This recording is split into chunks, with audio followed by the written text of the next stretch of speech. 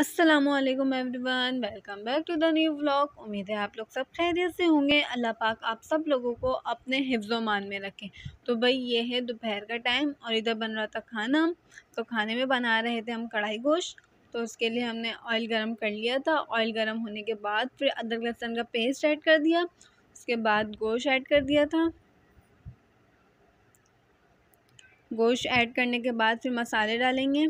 मसाले ऐड करने के बाद हम इसमें पानी ऐड करके गोश्त गलने के लिए रख देंगे। जब हमारा गोश्त गल जाएगा तो ऑयल में टमाटर और कुटी मिर्चें डाल के इसको अच्छी तरह जब तक टमाटर पानी ना छोड़े, जब टमाटर पानी छोड़ देगा, उसके बाद फिर हम सालन में टमाटर डाल देंगे।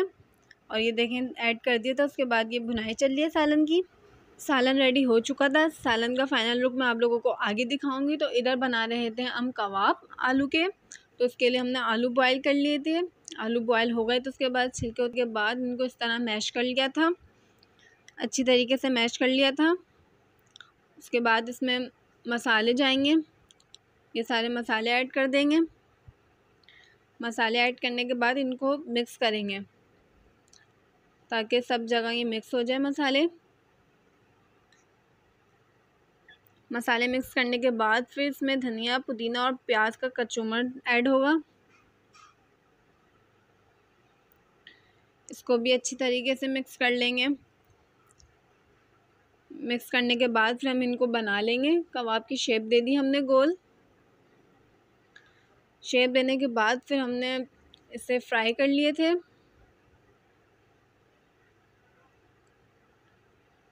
मीडियम फ्लेम पे फ्राई कर लिए थे। ये देखें फ्राई हो रहे हैं।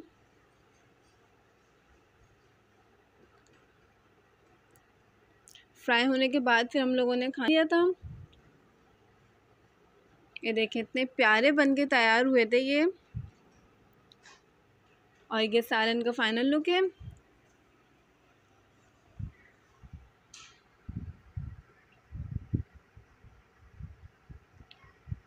कबाब को चटनी और अचार के साथ खाए थे और मज़ेदार लग रहे थे, बने भी अच्छे थे और इनके साथ तो और ही ज़्यादा अच्छे लग रहे थे। और यहाँ हम सब लोगों ने खाना खा लिया था। खाना खाने के बाद फिर ये शाम का टाइम है तो मुझे थोड़ी थोड़ी भूख लगने लगी थी। तो फिर मैंने अपने लिए बना ली थी। इसके अंदर थोड़ा सा मैंने पानी ऐड करा था, बग़ैर पानी वाली बना रही थी। थोड़ा पानी ऐड करने के बाद फिर इसको जब तक बॉयल आएँगे बॉयल आने के बाद इसमें मसाले ऐड कर दूँगी। इसको चला लूँगी। ये देखें, ये मेरी रेडी हो गई थी, काफ़ी स्पाइसी बनाई थी मैं स्पाइसी अच्छी लगती है फीकी फीकी तो बुरी लगती है।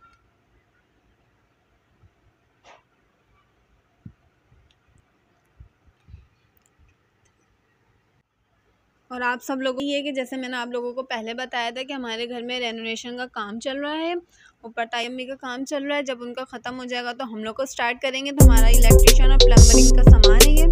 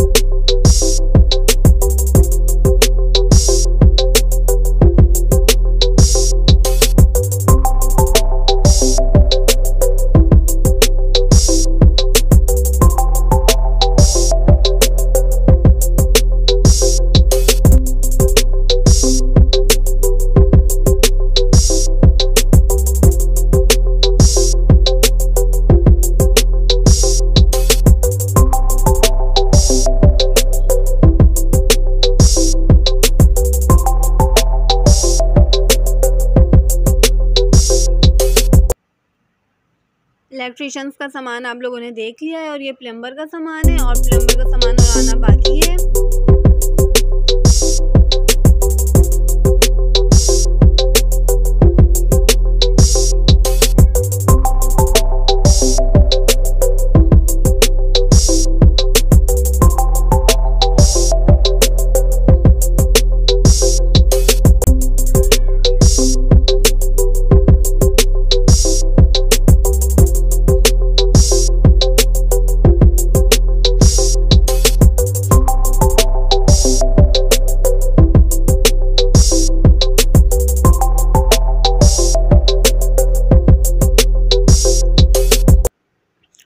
और इलेक्ट्रिशियंस का सामान सारा आ चुका है और प्लम्बर का आना बाकी है और ये सॉल्यूशन वगैरह हैं?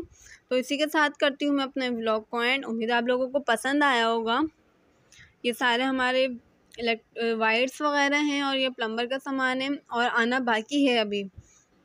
और ये मेन बोर्ड है। तो इसी के साथ करती हूँ मैं अपने ब्लॉग को एंड उम्मीद है आप लोगों को पसंद आया होगा तो लाइक करें सब्सक्राइब करें। थैंक यू फॉर वॉचिंग अल्लाह हाफिज़।